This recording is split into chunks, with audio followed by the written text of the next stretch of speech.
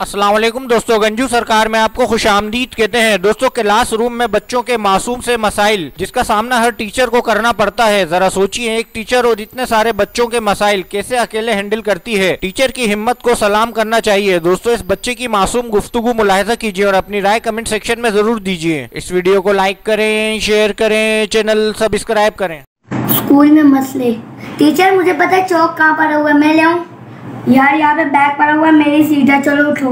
Teacher आज students बहुत कम आए हैं प्लीज़ गेम पीरियड करवा दें।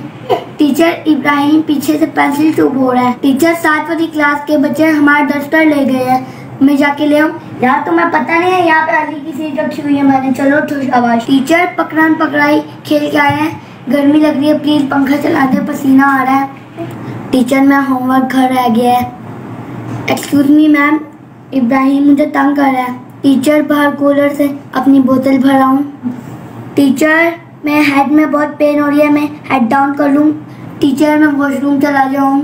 प्लीज़ टीचर, बहुत ज़ोर के आइए प्लीज़ टीचर प्लीज़ थोड़ी सी ब्रेक दे दें।